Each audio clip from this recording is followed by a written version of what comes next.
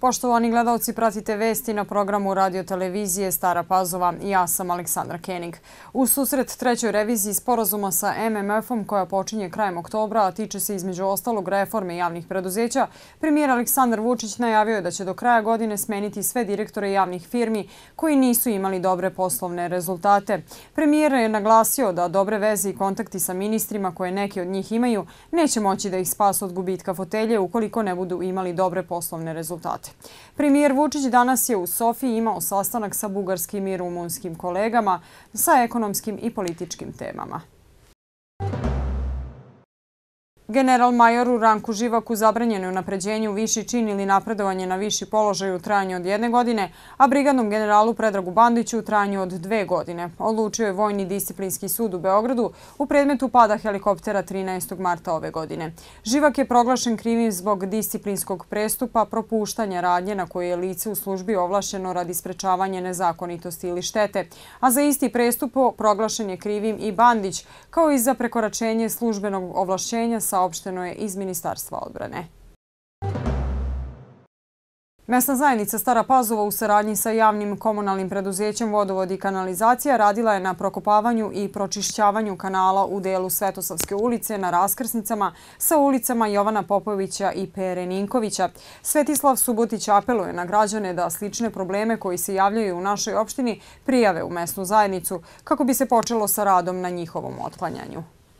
U Svetosavskoj ulici od broja 61 do 83 završeno je prokopavanje kanala koji je stvarao probleme i do čijeg zagušenja je dolazilo tokom kišnog perioda.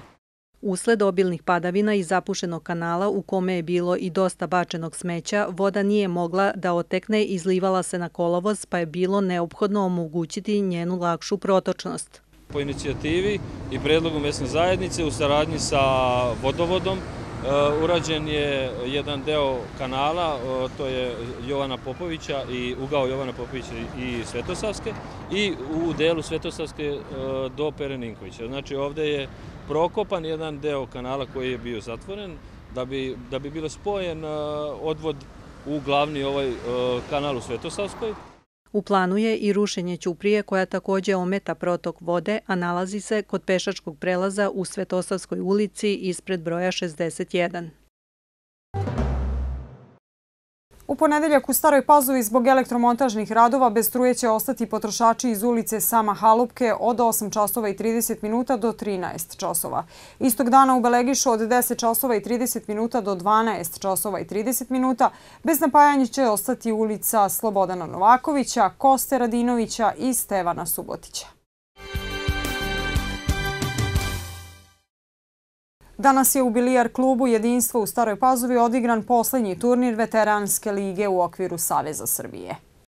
Po prvi put u Staroj Pazovi danas je u prostorijama Bilijar kluba Jedinstvo održan posljednji kvalifikacioni turnir Veteranske lige u okviru Saveza Srbije. Drago nam je da smo ovde i bit će turnira više sad od sljedeće godine. Možda ćemo više da aktiviramo i žensku ligu i juniore i seniore. Koliko takmičara je u pitanju? Danas trenutno ima 14 takmičara, a inače se na veteranima dolazi između 20 i 30 takmičara. Organizator današnjeg turnira je Bilijar klub Jedinstvo Stara Pazova, koji sada ima sve potrebne uslove za održavanje turnira evropskog karaktera.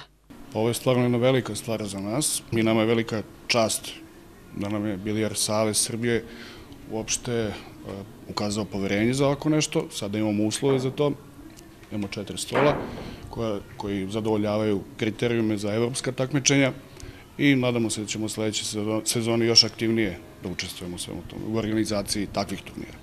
Interesovanje Pazovčana za bilijar je svakim danom sve veće. Bilijar klub Jedinstvo radi na popularizaciji ove igre tako što svakog utorka u 19 časova organizuju amaterske turnire.